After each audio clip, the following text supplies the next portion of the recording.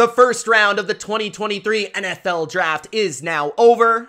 That means it's time for some first round grades. From pick number 1 to 31, my opinion on each pick and my letter grade for what I give your favorite team. Do I like the prospect? Do I think there's value in the pick?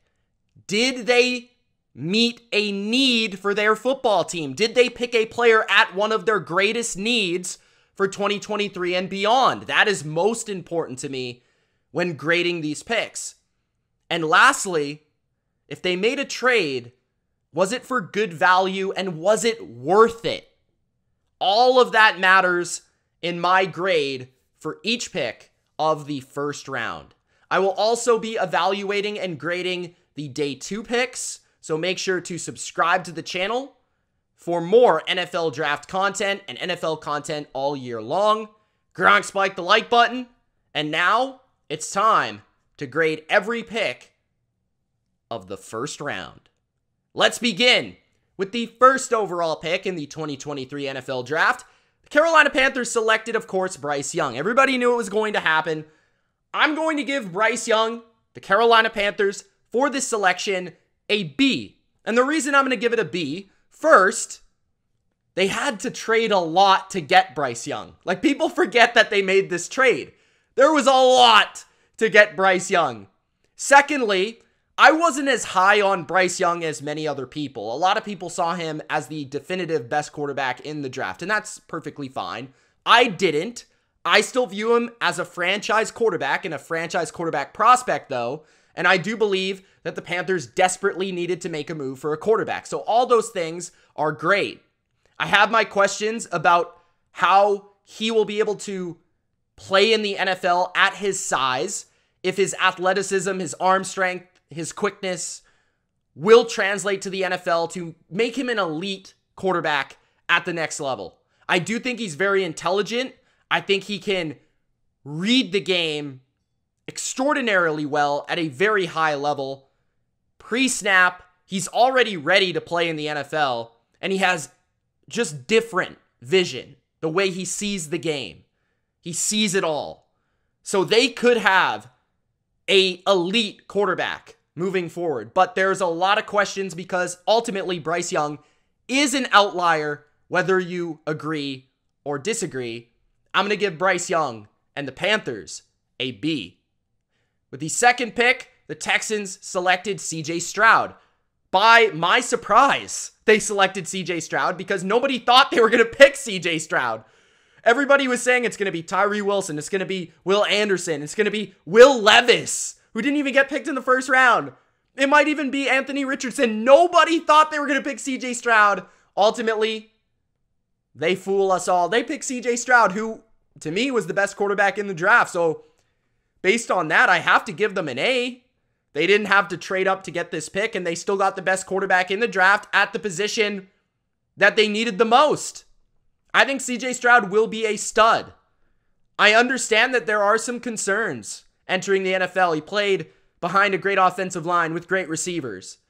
But when you watch him against the best competition like Georgia, he was able to light them up. And it's because of his elite trait of accuracy. He is the most accurate quarterback I've seen on college tape entering the NFL as a prospect since I've been doing this. Extremely accurate and can make every throw at every level. As long as the Texans can protect him, which they do have a good offensive line, I think he'll be a good quarterback for years to come. Will he be great? Remains to be seen, but I do think he'll at least be good. And I thought he was the best quarterback in the draft. With the third overall pick, the Texans actually traded up. They went back to back. So they got both of their guys at their two biggest needs, which is awesome. They selected Will Anderson out of Alabama, another Alabama pick in the top three. Will Anderson, I actually gave a C, and it's because of the trade. I don't like the trade. I thought they gave up way too much value. I thought it was an ugly trade for the Houston Texans. They gave up 12, 33, a 2024 first round pick, and a third round pick in 2024 for the number three pick and the 105th selection. So, I mean, that's crazy. A future first and third and second this year? That's wild to me.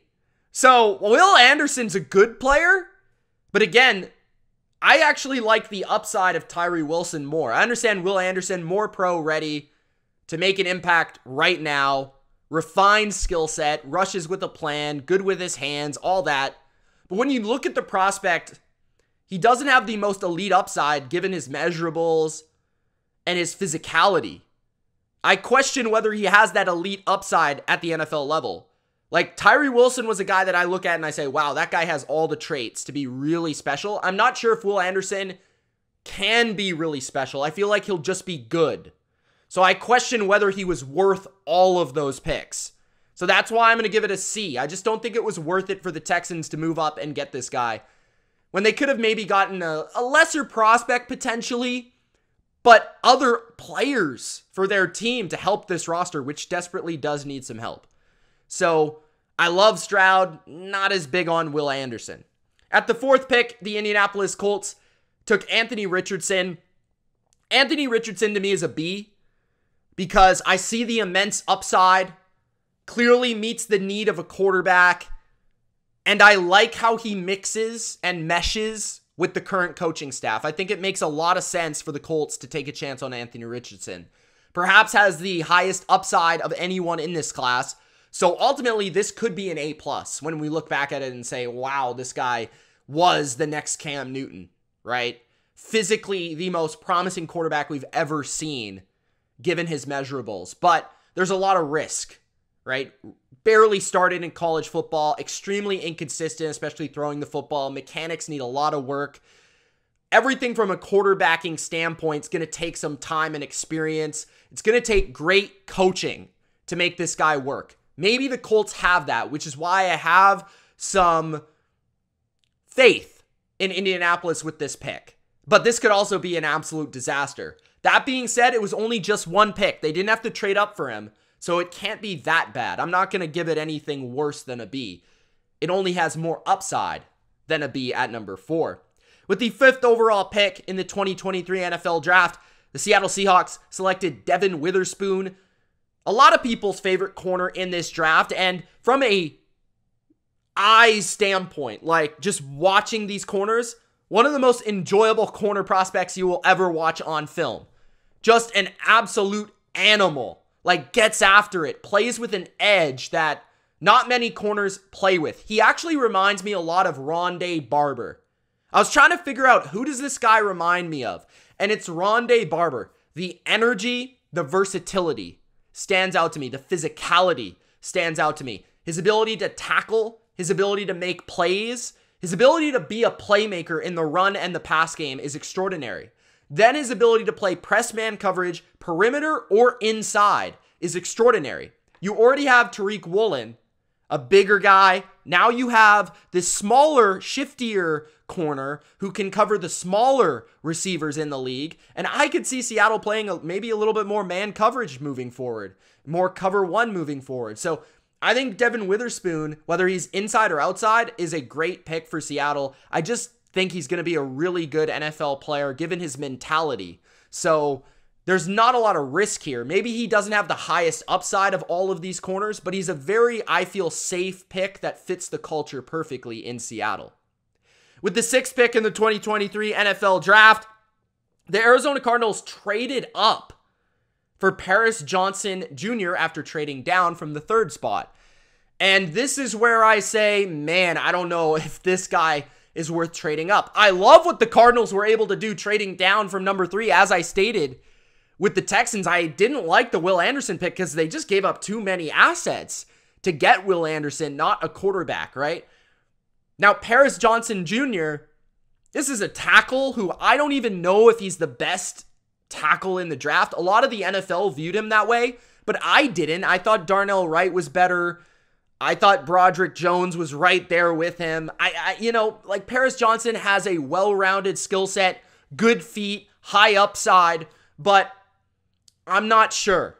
Like, I feel like this is too many assets. Again, even though you got a bunch in the third overall pick, so that kind of lessens like losing all of these assets because the Cardinals just have a terrible roster. Like, they need so many players. They need offensive linemen, but they also need corners and they need defensive linemen and they need edge rushers. They need everything, right? They need everything. So I just felt like it's not so much about the player, which, yeah, it fits a need, maybe not the biggest need. I thought edge rusher, D lineman, corner were perhaps bigger needs for them, defense in general. But it fits a need and it will help Kyler Murray and protect your biggest asset. So I get it, but maybe not my favorite selection and maybe not my favorite move of this draft. So I gave it a C, C plus. With the seventh overall pick, the Las Vegas Raiders had Tyree Wilson, probably my favorite edge rusher in the class, fall to them in their lap at number seven. Tyree Wilson just has so much upside. I just think it's rare for an athlete of his position to have the bend, the physicality, the power, the length of Jon Bones Jones, right? And the power that he possesses and all that and the flexibility. I mean, this guy could be the next Chandler Jones, who the Raiders have on their roster. The only thing I dislike about this pick is that that's not like the primary need of the Raiders, right? Because they do have Maxx Crosby and Chandler Jones. But when you have a great edge rusher with that much upside on the board, you got to take him. You have to take him. You have to try to swing for that home run, and Tyree Wilson might be a home run. Everybody loves his attitude. The work ethic is there. I think he has a lot of room to grow, but I think this guy could be really, really good. So I love the pick. I just would say like corner was a bigger need. So you know, there's there's some like maybe you love it, maybe there's a little bit there where you don't like it so much, but I, it's nitpicking really. So I love this pick at number seven. With the eighth overall pick, the Atlanta Falcons actually predictably selected Bijan Robinson out of Texas. I predicted this to happen, and many did. Just there was a lot of smoke surrounding it. And this is one of those that's really tough. Like, I think some people are going to absolutely get after Atlanta for picking Bijan Robinson, who happens to be a running back with a top 10 pick. And a lot of people are not going to like that because they don't believe in running backs being picked this high. And I get where they're coming from. But at the same time, in what this draft is supposed to be is a weaker draft. A lot of people are saying that the 2023 NFL draft is weak. So why do you have a problem with taking arguably the best player in the draft at number 8? It's not number 1, not number 2, not number 3, 8. Okay? A lot of people think this guy's the best player in the draft regardless of position. Can make an impact on all three downs. Plays with power, contact balance, explosiveness, quickness, can make people miss he's going to create something out of nothing on a lot of runs for this offense, Arthur Smith's scheme, who had Derrick Henry in Tennessee and won a lot of games with a Hall of Fame running back, Derrick Henry. This could be his next guy, his next Derrick Henry, to lead him to success.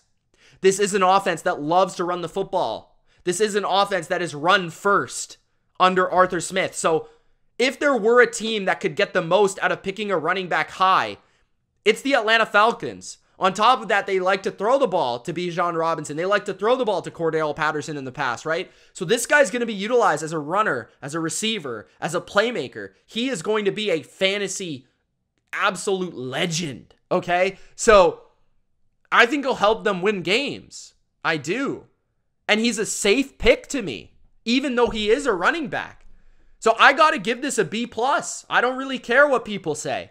I still think, yeah, it's it's maybe not their primary need of a corner or an edge player. But man, he's good. I can't just say it's a bad pick. With the ninth overall pick, the Philadelphia Eagles traded up one spot to get their guy, Jalen Carter. Everyone thought they were into Jalen Carter, and ultimately he fell enough for them to get their hands on him. Their grimy little Philadelphia hands. Jalen Carter, it's got to be an A, man. The only reason I don't give it an A plus is there are some off the field concerns, and they did have to trade up one spot. Other than that, Jalen Carter's arguably the best player in the draft. I'd put him number one, number two, right next to Bijan, as I discussed. I mean, Jalen Carter's a stud, best defensive player in this draft, powerful.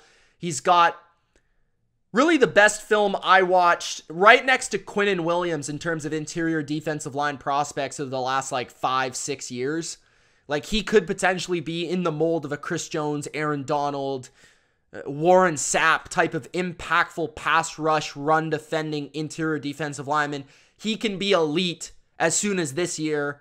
He's going to make a difference. He's going to change the way offenses play them. He is a beast, and he replaces Javon Hargrave and gets to play next to Jordan Davis on this Georgia Bulldog defensive line in Philadelphia. With the 10th overall pick, the Chicago Bears selected Darnell Wright. I also predicted this pick to happen. I mean, kind of obvious. The Bears wanted a tackle. This is the best right tackle in the draft.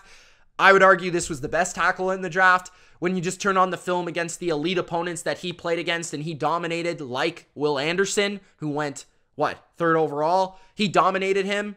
So I'd give this a B, right? It's their biggest need, arguably, that and defensive line. Good player, know, some argument whether he's the first, second, third, fourth best tackle. Some people would put him anywhere between one and four, depending on your opinion. I think it's a solid B.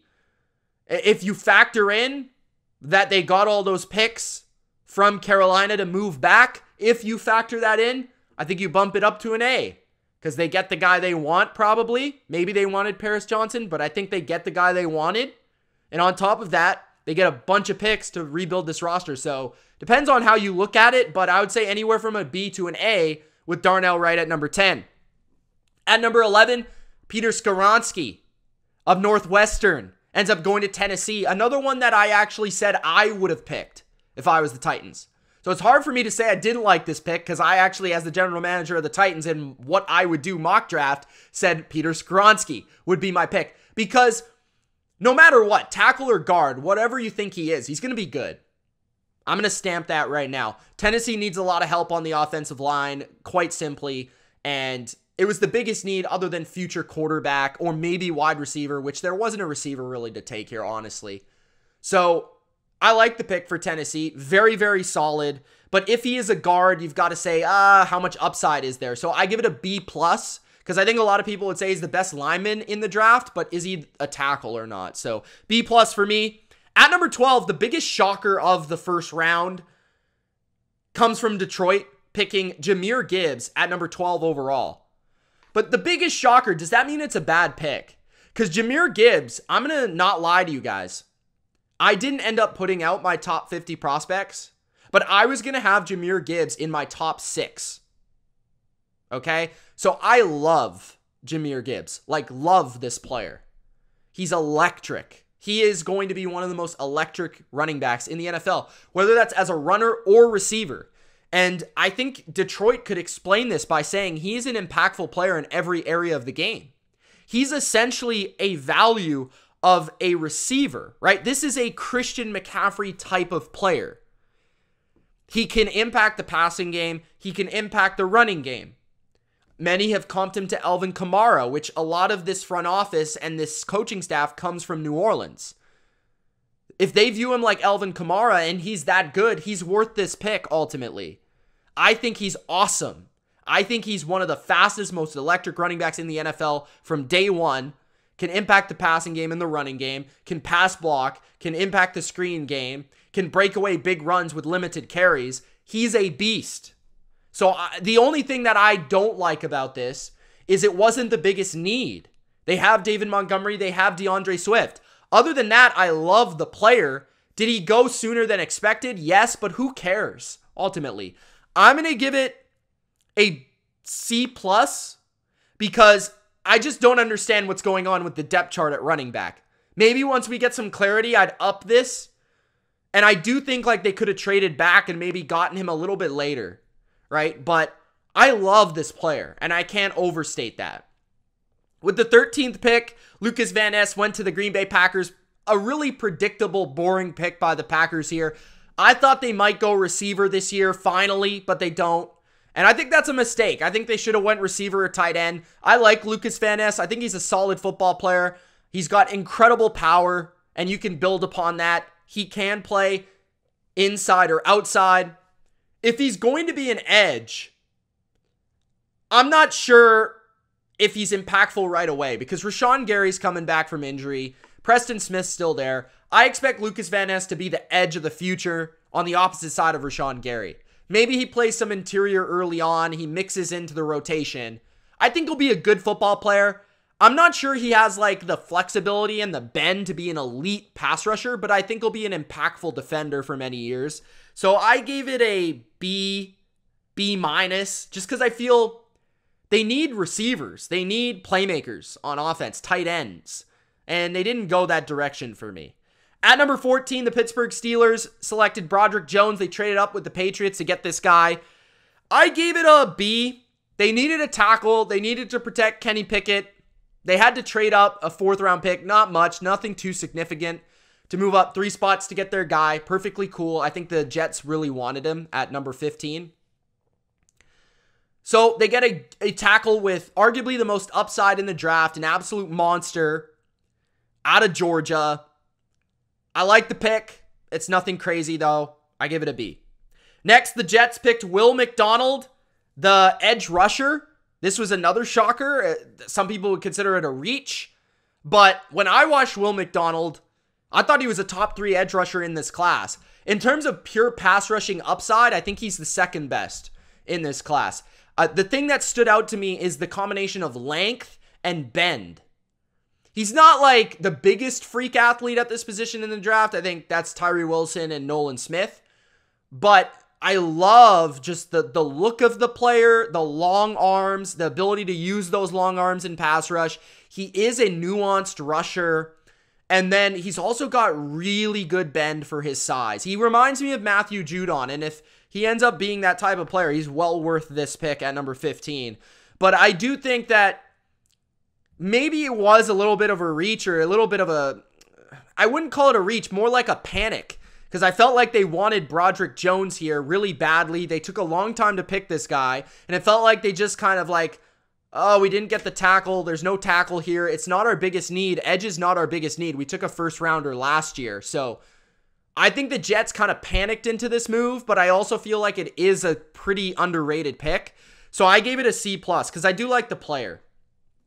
At number 16, Washington Commanders selected Emmanuel Forbes in the first round. I've recently praised Washington for their picks in the first round, especially their defensive line picks. I felt like this one was l- less than stellar. Um, I think it was the worst pick, arguably, of the first round, because I like Emmanuel Forbes. I thought he was like the fifth or sixth best corner. And there's still Christian Gonzalez and Deonte Banks on the board. Both players, in my opinion, are top 10 players in the class. Like, I love those guys, okay? So for them to be thrown aside and Emmanuel Forbes to be picked ahead of them, I thought was kind of ridiculous. Like, Emmanuel Forbes has great ball skills. He's a playmaker. He will get interceptions. He is high risk, high reward. I think there's a lot of boomer bust here because he has a very slim frame. He's 160 pounds, which is the slimmest corner we've seen in the last 20 years coming out of the combine. He does have good height. He does have good playmaking, natural feel for the position, but I question his physicality for the position. I don't think this is a good mid of the first round pick in any draft. So I'm going to say this is a C. With the 17th pick in the 2023 NFL draft, the New England Patriots got the best value of the first round. That's Christian Gonzalez out of Oregon. I gave this an A plus. You know, I I guess you could argue an A just because like they didn't get the receiver that maybe they needed. But was there re- that receiver in this draft? I would argue, yeah, Zay Flowers is that guy, which we'll get to. But man, I mean, they got by almost everybody a top 10 player at the minimum in this draft at pick 17 after trading back from 14 and getting another fourth round pick that they'll be able to use on day two to trade up for another asset, maybe a receiver, maybe a tackle, maybe an edge rusher that they could really use. And now you put Christian Gonzalez on their depth chart on defense, and this might be a top three, top four defense in the league with a top three, top four secondary in the league. And you've got a guy in Christian Gonzalez who is a perfect prototype of a cornerback. He is a Stephon Gilmore type where he's got the speed to be able to track down speedy receivers. He's got the size to be able to play big receivers. He's got the length. He's got the leaping ability like through the gym. I mean, this guy has all of the traits to become an elite, elite corner in this league, the best corner in the NFL. That is the upside of this player. His athleticism is through the roof. He has natural, just movement skills. I've never watched a corner and been like, this guy looks like it's easy. The way he flips his hips, the way he's so smooth. And I think Bill Belichick saw the same thing at pick number 17. I know I wanted a receiver, but the more you think about this, a number one corner is, I love that pick. And I think he makes a huge difference on this Patriots team. So it's an A plus. I, I can't not say anything more. And some people are going to say that's biased, but whatever. At pick number 18, Jack Campbell goes to Detroit. Another puzzling pick by the Detroit Lions in terms of like quote unquote value, right?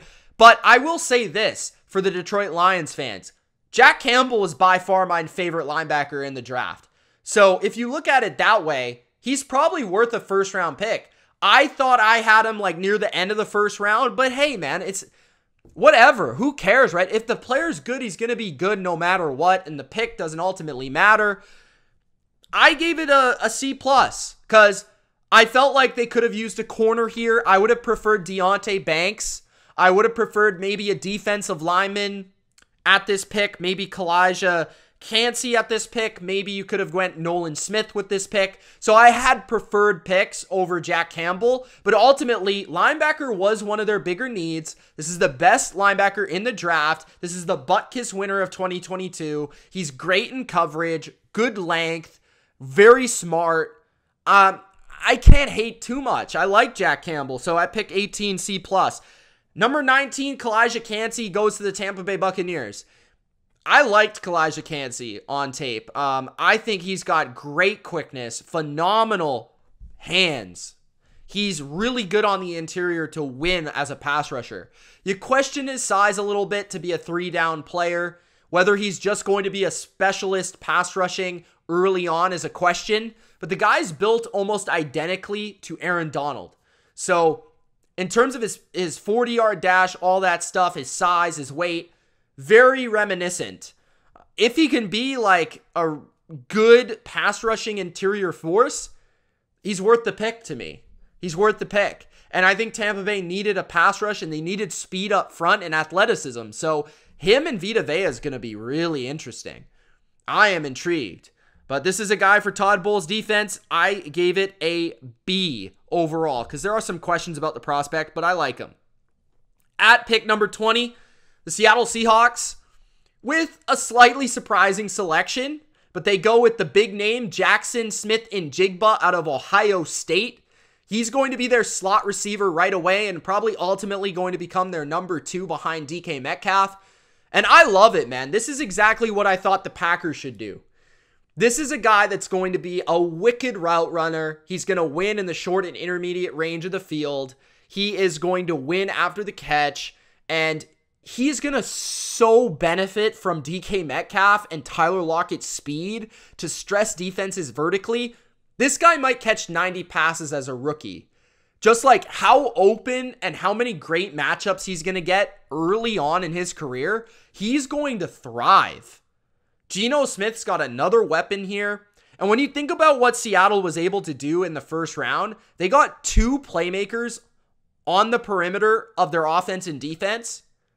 That is going to change their team. Playmakers in round one. So I give them a B plus. The only reason I don't give them an A is Jaxon Smith-Njigba, I think, is limited as a number one receiver due to the speed element. He doesn't have the speed but he's got the quickness, lateral agility, and he's great in pretty much every other category. At pick number 21, the Los Angeles Chargers pick a receiver for Justin Herbert, Quentin Johnston out of TCU. I'm going to be honest, I'm not a huge fan. I like the need pick. I like that they went with a speed receiver, a guy that can win after the catch. There's some things to like about the pick, right? But I think it's a C plus just because I think Zay Flowers is a much better player and will be a much better pro. I don't have the questions about Zay Flowers in terms of route running, winning at the line of scrimmage, separation, like I do with Quentin Johnston. I would also say that for a guy that is as big as he is, he's not good at winning the ball in the air. Actually, Zay Flowers is better, and he's five foot eleven. So I just don't understand why they wouldn't pick Zay Flowers, other than the fact that the Chargers just like picking big receivers. So I gave it a C plus. I get they wanted to go with the receiver. Quentin Johnston wasn't my guy personally. At pick number 22, Zay Flowers is the pick for the Baltimore Ravens. Like I just said, I would have picked Zay Flowers ahead of this. Uh, he's my favorite receiver in the draft. I think he's the only guy out of these three that I think can play in the slot, out wide, can win at every level, separate and run routes, short, intermediate, deep. He's going to be a dynamic weapon for the Baltimore offense, whether that's as a receiver or a rusher. He's got the swagger that I love, the confidence. It's just unbelievable. And I think the guy's going to be a really good football player. He has the drive to be a really good football player. And I think he's going to be Lamar Jackson's number one target for years to come, at least the next five years with Lamar Jackson, who got signed up. I mean, that offense is looking to looking real electric. I mean, Baltimore is going to be a really good team this year. So I got Zay Flowers, A. Pick number 23 is another receiver. That's Jordan Addison to the Minnesota Vikings. I give this a solid B. I compared Jordan Addison to Emmanuel Sanders. And maybe that's being a little nice, honestly. Like, if he's Emmanuel Sanders, this is an A.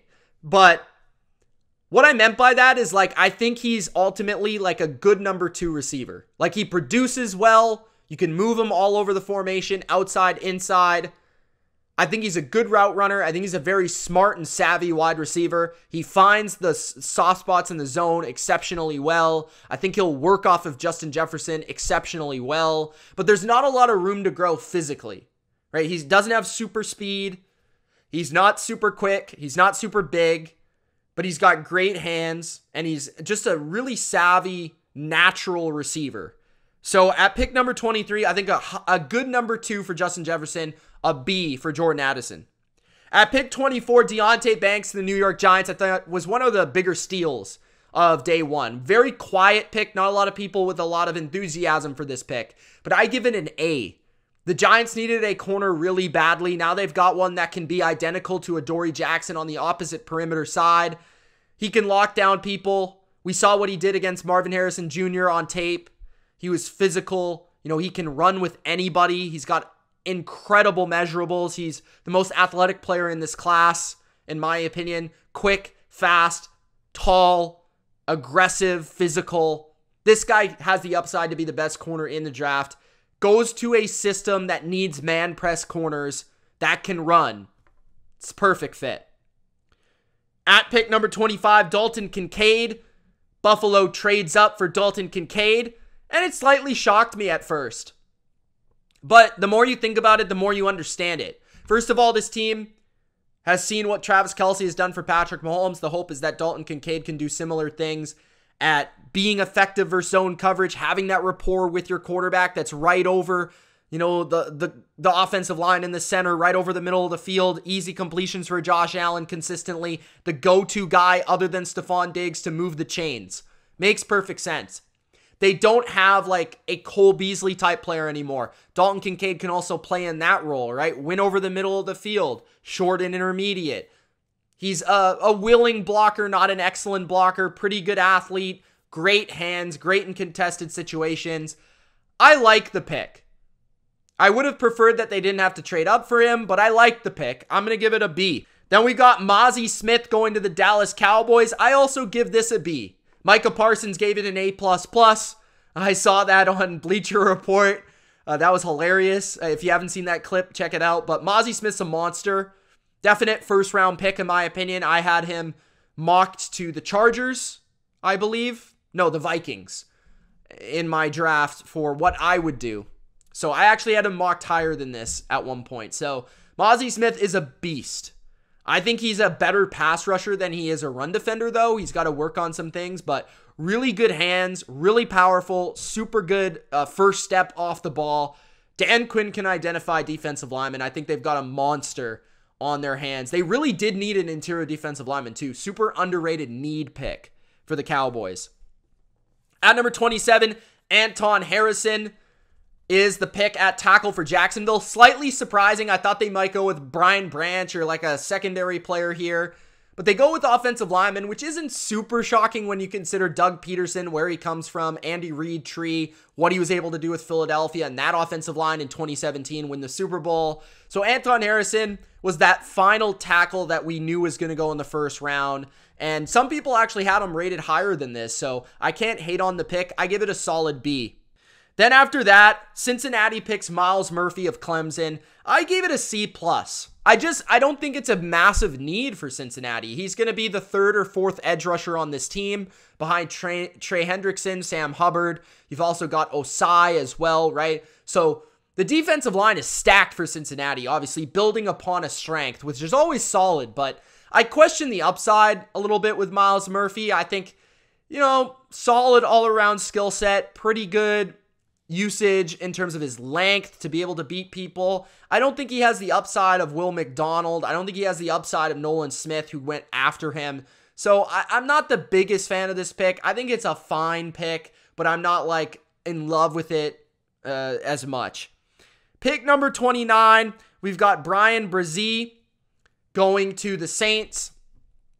Uh, this one's risky to me. Like, I gave this a C plus because I see why they made the pick. I think it fits a need interior defensive line. They lost David Onyemata. They lost some d- interior defensive linemen in recent years. And this was a definite need pick for sure, building that defensive line for the future. And we've seen that he has massive upside. In his college career, you know, first team all ACC, right? As a true freshman, not that long ago, but he's been through everything, right? He's been through issues with his inner workings, issues with his family, his sister, you know, issues with injuries. So, like, what is he right now? Now, he, he had a great combine, great bench press, great, you know, 40 yard dash, showed off his athleticism. I just question, I think it's a, a very, very, very risky pick. Even though this is a upside shooting for upside pick, I think it's also extremely risky, a boomer bust pick here at number 29.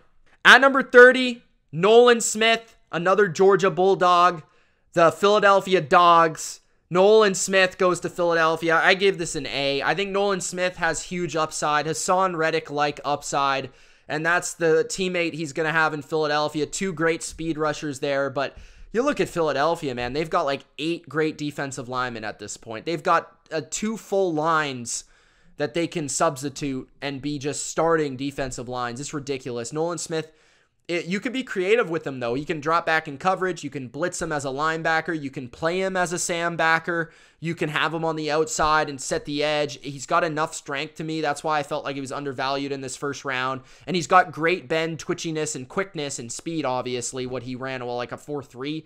So, yeah, he's a ridiculous athlete. Nolan Smith's an A. 31. I'm just going to go with Felix, bro. I'm not even going to attempt. But the Kansas City Chiefs pick Felix the edge rusher. I think this is a solid need pick. When you looked at the board at the time, like the offensive linemen were all gone that were projected first round. The receivers were all gone that I thought they could go with. So they went with an edge rusher. You can always use more edge rushers. They could have went with a corner here maybe. I would have liked that as well, but edge rushers perfectly fine with me. This was like the next guy on the board for many people. Um, good traits, good upside, good athleticism. I think it's going to be intriguing to see how they utilize Charles Omenihu, who they signed in free agency.